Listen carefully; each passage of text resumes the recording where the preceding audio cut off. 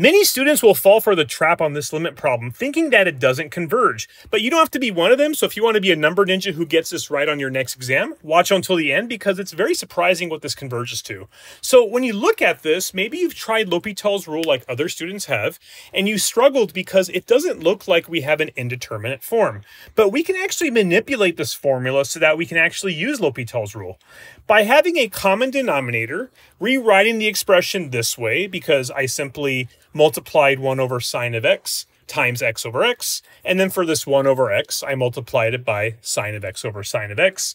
I got this new form where now when I plug in 0 for x, I have one of the indeterminate forms where because we'll end up simplifying this to 0 over 0, we're allowed to now use L'Hopital's rule. And I'm going to do that. Check out a video that you see above if you need a refresher. But to make it short, remember that with L'Hopital's rule, we can now take the derivative of the numerator, take the derivative of the denominator, and rewrite the limit in terms of the derivatives. So for this numerator right here, when I rewrote the problem, this x minus sine of x, I'm going to go ahead and find its derivative right now.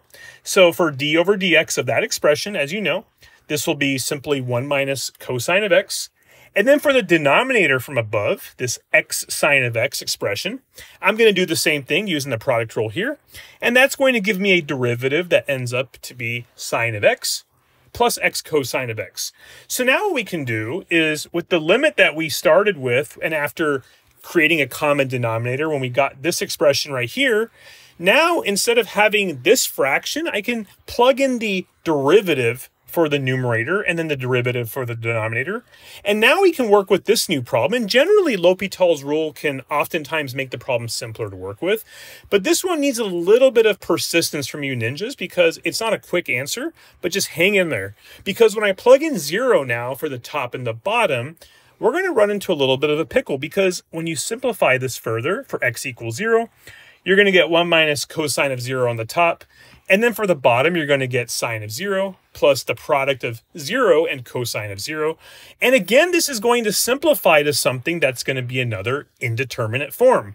We're going to have 0 over 0 here, but no sweat because remember, you can apply L'Hopital's rule as many times as you want here, provided that you always end up with one of the indeterminate forms where you're allowed to use the rule.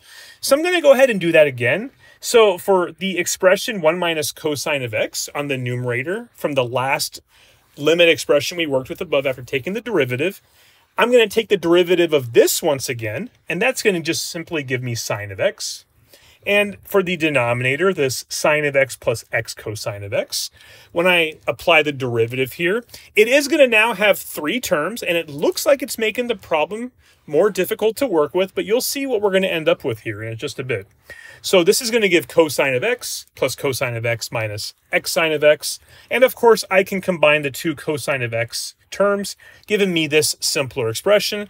So that now when I write the limit problem again in a different way, this time using this derivative result for the top and the bottom, aha, now when I plug in zero, watch what happens. I'm going to simply get sine of zero on the top, which is zero, but now we have to make sure that on the denominator, we are not dividing by zero, right? Because if it's anything that's not zero, that's going to give us our answer. And that's what it turns out to be, which is simply going to be an answer where it converges to the number zero.